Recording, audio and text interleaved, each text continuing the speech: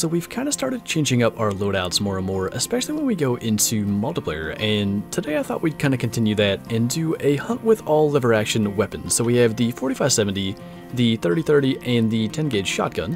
And on a live stream not that long ago, we kind of discussed this, and I realized using the 10 gauge birdshot, it is actually possible to cover all animal classes from 1 to 9 with just these three weapons. So I think it'll be fun to see what kind of challenges these weapons present.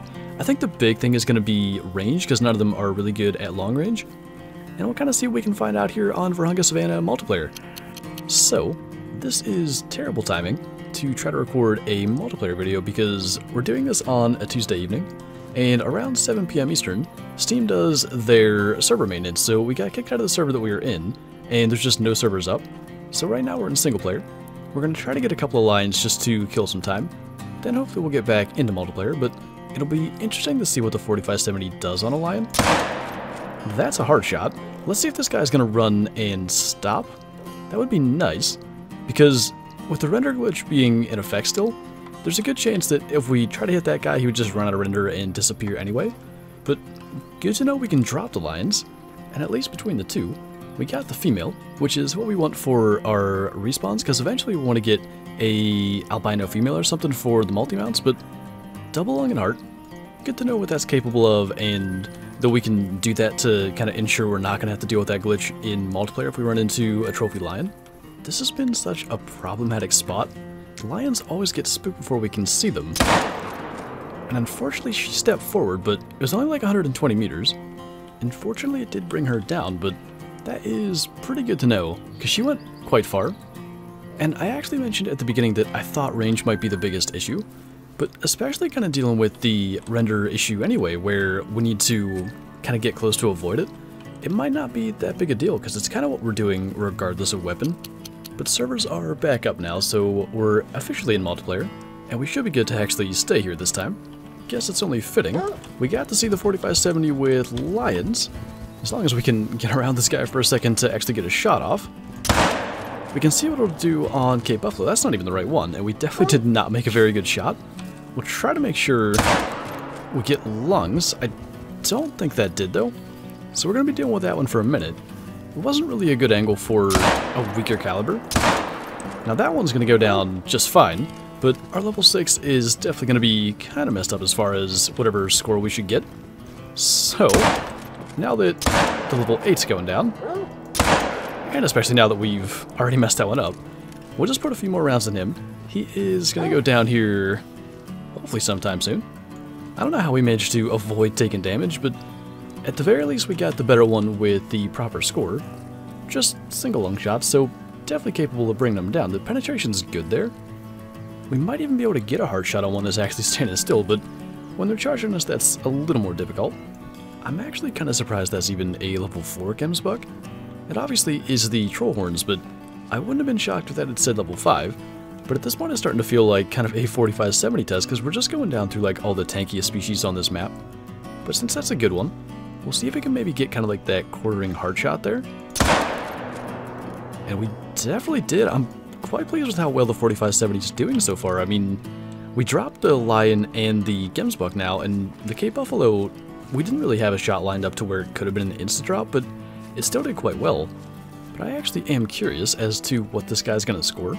Yeah, 319, and he's close to like 230 kg. It's somewhere in that area where they start to be level 5s, but again, like the Lion, double lung and heart. I guess it's really just the fact that it does have the limited range, and usually we run with the Argus scope, which of course the lever action rifles can't use.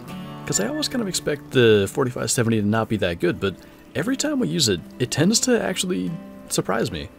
Well, that one actually is a level 5, and I think those are the horns that have a chance of being diamond. Now, he's going nervous. Those definitely are the right horns. The question is, for one, if he's alert, is there a lion over there, or is it just because he's spooked? Because sometimes they just go right back to alert after they do spook. I can't tell based on what these others are doing, if they're going to try to come back, I don't think they are. I have a decent amount of confidence in the 4570 at that range. I think we're going to go for this. Especially when he went alert again there. There is a lion over there. And that is into a lung. Now, we have to kind of cross our fingers that he doesn't go out of our render. He was starting to go down. Trying to look at this, I think we're best going off around the other side. He did just die. That's already 300. That might not have been our best move. I talked about range being a potential issue earlier. I think, though, as long as he kind of went the direction I think he did, we should be okay, because it didn't seem like he ran that far. And it looks like we lucked out, because he's down pretty much where I thought he might go. So, fortunately, choosing this direction was not a bad thing. And of course, probably like 90 plus percent of level 5 male Gemsbok troll anyway, but he had a chance at that estimate up to 356. And like I said, luckily he went down in our render and we'll actually get to claim him and find out. So the question then becomes, is he at least 337.5? I believe that is the diamond requirement. Rocky doesn't push us away from him. He is 331 and almost 236 kg. He might have had a really slight chance. They usually got to be like 238 or higher. Good to actually see a good size one. And actually, that was 210 meters. I think we figured like 220, so it was probably about the same, but aiming a little higher wouldn't have been a bad idea. And I think we're lucky that we got the bottom of the lungs where you don't have to penetrate as far through to get both. I'm not sure that he would have stayed in our render if it was a single lung shot, but he was a gold at the end of the day, so wouldn't have been like we're losing a diamond male, which is something I do want to eventually get. I'm not 100% sure, but I think we're catching this Cape Buffalo actually leaving his drink zone. But I want to try this with the 4570 just because of what we've seen with the other species. If we can alert him, then go for like a frontal heart shot, just see if it's possible, because I know it is with the 7 mil. Let's see if he'll actually just go alert.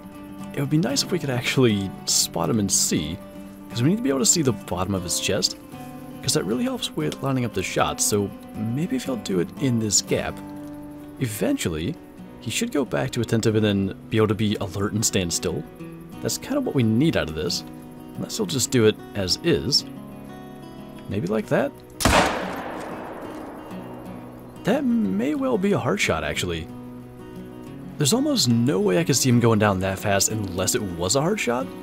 In which case, we've now taken pretty much the three beefiest animals on Vurhonga with hard shots with the 4570, which is not really the ultimate goal of this hunt, but pretty cool nonetheless. And by the way, pretty good sized mythical to deal with, but it was actually lung and heart, which makes it even crazier that it even ran.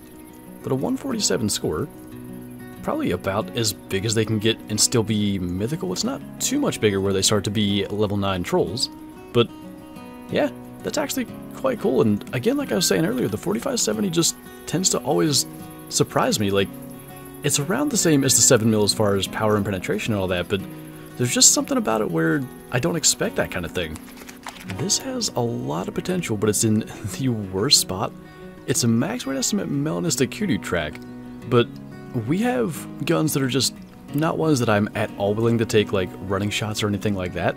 And just in general, when we're tracking animals down and doing what we often do, which is kind of spook them into the distance and then try to shoot them when they stop. Range is kind of key there, and we just don't have a lot of that, but this could be something pretty special. We'll have to see if we can figure out where he got to. I think he's sticking with these ones, even though I don't see any more of his tracks. But there's a decent chance we could be on this for quite some time, and it depends on what the uh, freshness of the tracks is, but I wouldn't be shocked if this takes a while to actually get something lined up for him.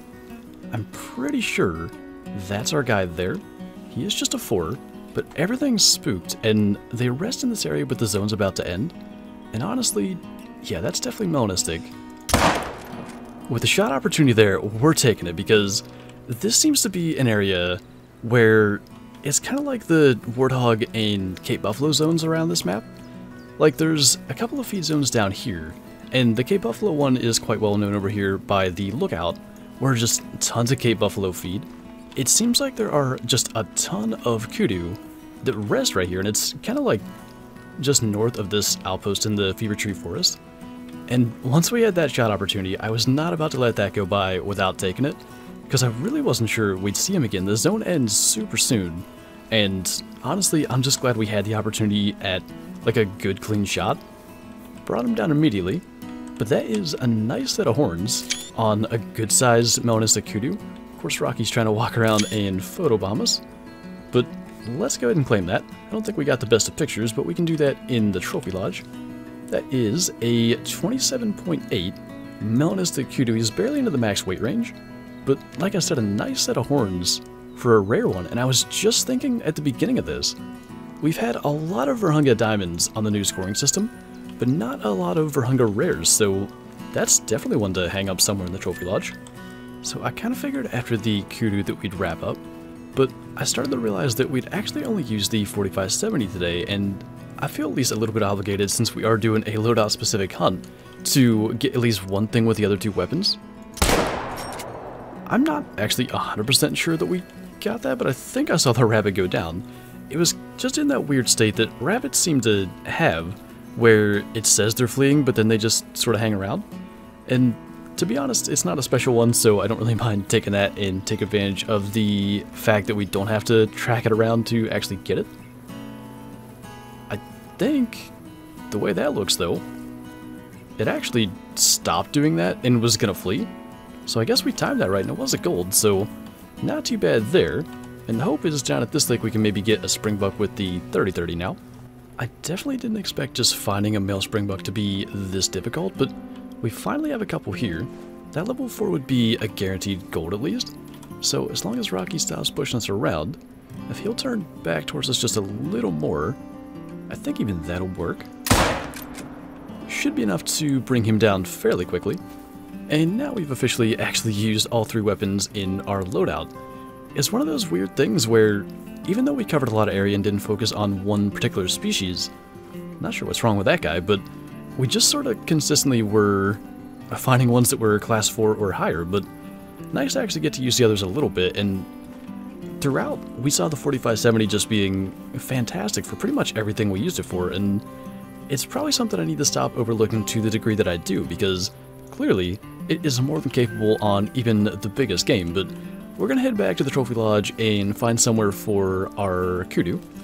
I'd love to do like an albino and a melanistic, but because we actually do have two gold melanistic kudu, I thought we'd bring them both out front here. And we kind of have the same thing going on with the two Diamond Cape Buffalo up there from Vurhonga, but I quite like that they are different horn shapes. So this was a 26.2 that we shot back in August of 2020, and then we have our new one, 27.8 from today, and you can just see how much bigger he is.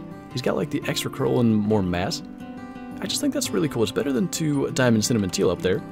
It definitely adds something a little bit special to this lodge, and if we could ever get an albino female, because that's the only rare female kudu uh, variation there is, that could make for a really cool multi-mount, but for now I like what we have going on up there on the wall, and on that note, I think that is going to do it for this video, so thank you guys for watching, and I'll see you next time.